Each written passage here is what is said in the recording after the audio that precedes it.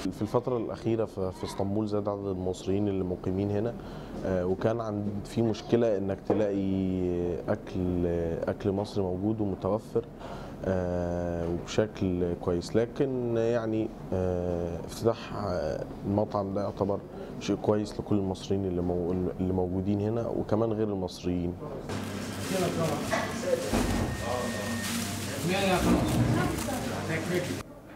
مصري وسوري. بس الغالبية سوري. تمام. الغالبية سوري. ومعانا أخ فلسطيني. هي هي المعيار هنا طبعا ما, ما, يعني مش للجنسية. طبعا الأولوية هنا عندي لل للعرب لأن هو بيخدم على معظم الزبائن عرب. ولكن أنا خلي بالك لم أتغافل للزبون التركي. يعني أنا أقدر النهاردة الزبون التركي يجي يلاقي الأكل اللي هو بي بياكله نوع الشوربة اللي هو بيشربها آه، نوع المشروب البارد اللي بيحب يشربه مع الأكل. اللي هو الأيران بنسميه رايب عندنا في مصر. آه، يلاقي الفاصوليا بالطريقة التركي. في واحدة بتكمل كبشتين تاني أنا مؤمن بأن رابعة دي يعني رمز للإنسانية ورمز جميل الواحد يحب إن هو ينتمي ليه أو إن هو يعني ده بالنسبة لاسم المطعم. أما بالنسبة للمطبخ عندي فأنا عندي مطبخ كشري للمصريين ومطبخ مصمت بعمل كوارع وممبار وأي طلبات خاصة بالكلام ده. وعندي آه، بندخل الأيام القادمة إن شاء الله بيتزا والمعجنات. عندي المكرونة بالبشاميل. تحس إن أنت الأسر المصرية هنا لما تيجي تلاقي إنها يعني في البيت عزومة عزومة يعني أهلنا كده هو عزومة العائلة.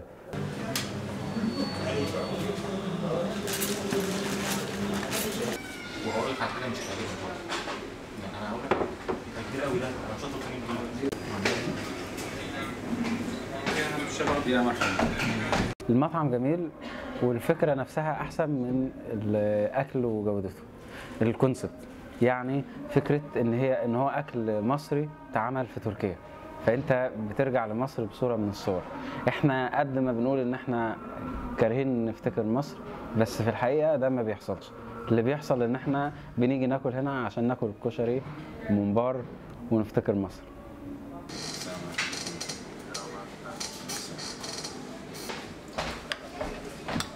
أنا باكل كشري. في البداية أنا آه، كنت معارض للاسم وشايف إن هو تجارة بقضية ما. يعني إحنا خلينا نستقطب جمهور معين هو الجمهور الأغلب هنا في إسطنبول من خلال إن إحنا نديله الاسم اللي بيعجبه. بس بعد شوية قلت لا بأس لو عملنا الموضوع بشكل مقلوب أنا لو عايزة آه، أدعم قضية معينة هسميها يعني هجيبها وأحطها اسم للحاجات. فإذا إحنا يعني خياري الشخصي لو إني بفتح مشروع مش هسميه اسم قضية عشان ما اكونش بتكسب منها. لكن للآخرين خياراتهم يعني.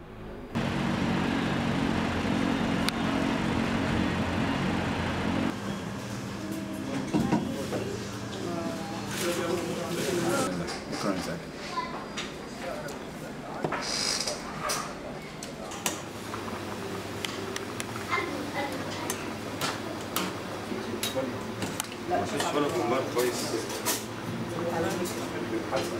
أنا اسمي الشيخ رشيد آه، صار لي بالمصلحة هاي آه، 15 سنة. آه، بالنسبة للخبرات عندي خبرة بالمجال الشرقي والغربي. هلأ مجال الأكل المصري كمان. الأكل المصري آه، مو كتير آه، يعني شلون مو كتير إنه له فرق. فرق بسيط كتير يعني. النكهات المصرية قريبة نكهات على العربية.